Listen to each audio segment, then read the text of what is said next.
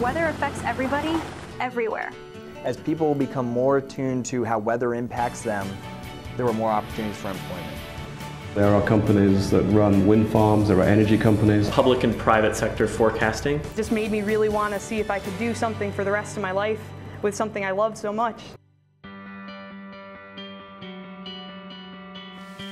The overarching mission of the department is to carry out uh, world-class research and to provide excellent training and education for our students. We prepare students for a whole different range of careers we really try and give them a, a good breadth of experience and knowledge. Many students go into the National Weather Service. Other students will go into private industry. I work in the commodities sector, both in energy and in agriculture. We figure out are there weather-based opportunities from a pricing standpoint of how we sell our gas into the national pipeline network. This is interesting to us because it tells us a bit about heating demand for houses in the U.S. The education I got at Albany was invaluable and because you get the full understanding of the atmosphere. We wish we had a bigger wall. We'd put more stuff on this if we could. This department's been really great because it gives you a lot of opportunities. I can't think of a week where I didn't get an email about an internship or a job opening.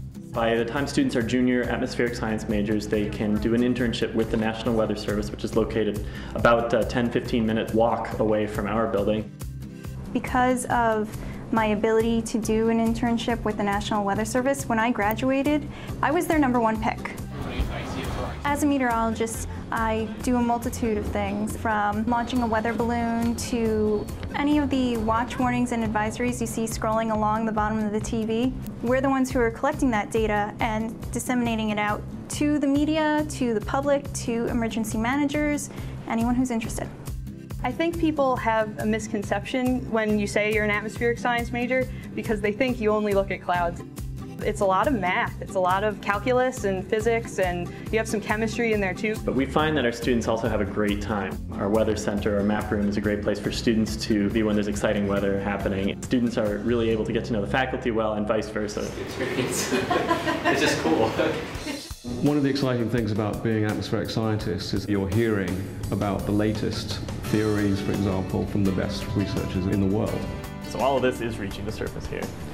If you want one of the best educations in the world, there's no better place in the world to do that than at SUNY Albany.